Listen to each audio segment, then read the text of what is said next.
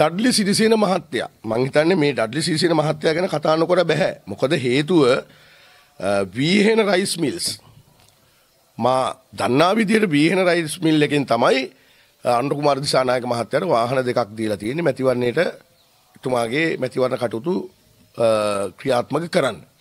එතකොට වීහෙන රයිස් මිල් එකේ වාහන දෙක දැන් අද කොහෙද තියෙන්නේ කියන කාරණාව පිළිබඳව මම දන්නේ නැහැ. අදත් ඔබතුමා පිටිපස්සෙන් එනවද? ආණ්ඩුව වාහනත් එක්ක එහෙම නැත්නම් ඔබතුමා ඒවා බාර දුන්නද කියන කාරණාව මම දන්නේ නැහැ.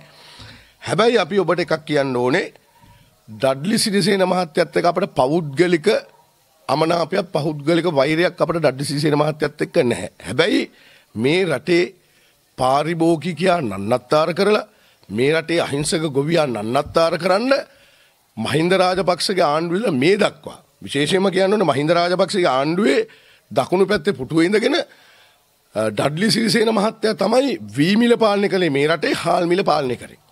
ඒ වගේම ඊළඟ ආණ්ඩුවේ මෛත්‍රීපාල සිරිසේන තමන්ගේ අයියගේ ආණ්ඩුවේ දකුණු පැත්තේ පුටුවේ ඉඳගෙන තමයි මේ රටේ වීමිල සහ හාල් මිල පාලනය කරේ. ඊළඟට රනිල් වික්‍රමසිංහ ඊළඟට ගෝඨාභය රාජපක්ෂගේ ආණ්ඩුවෙත් ඒ ක්‍රියාවලියම කරා. විශේෂයෙන්ම ගෝඨාභය රාජපක්ෂගේ ආණ්ඩුවෙත් අපි බලා හිටිය මහින්ද රාජපක්ෂ ආණ්ඩුවේ මේ සහල් මාපියාව වීමාපියාව ඉවර වෙයි කියලා. අපි බලා හිටියා මෛත්‍රීපාල සිරිසේනගේ ආණ්ඩුවේ මේ සහල් මාපියාව වීමාපියාව අවසන් වෙයි කියලා.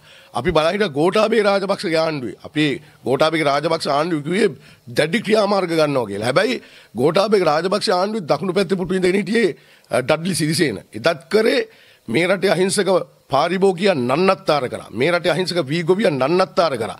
ඊළඟට අපි හිතුවා රනිල් වික්‍රමසිංහ ආණ්ඩුවේ මේක ඉවරයි කියලා. නෑ. ඒ වුණෙත් නෑ. රනිල් වික්‍රමසිංහ ආණ්ඩුවේ දකුණු පැත්තේ හිටියේ ඩඩ්ලි සිරිසේන.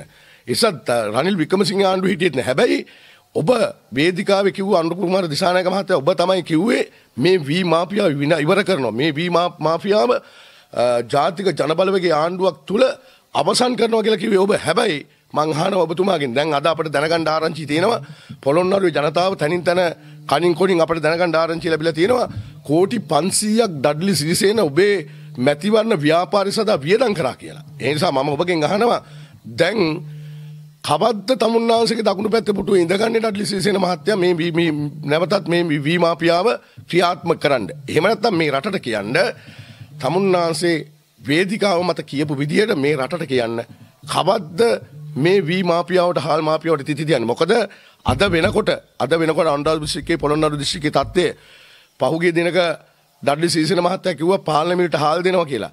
මං අහනවා පාරිභෝගික අධිකාරිය මේ රටේ විශාල වී මිලදී ගන්නේ ඩඩ්ලි සිරිසේන මහත්තයා. ඒ වගේම ලක්ෂ ගාණක් දවසට හාල් කිලෝ ලක්ෂ ගාණක් එළියට එන්නේ ඩඩ්ලි සිරිසේන මහත්තයාගේ වී වී මෝල් වලින්. එතකොට මේ මේ මිනිස්සුන්ගේ පාරිභෝගිකා නන්නත්තාර කරලා ඒ වගේම වී ගොවියා නන්නත්තාර කරලා මේ රටේ හම්බ කරපු සල්ලි වලින් හරියට බදු අය කරලා තියෙනවද කියලා අපි අහනවා.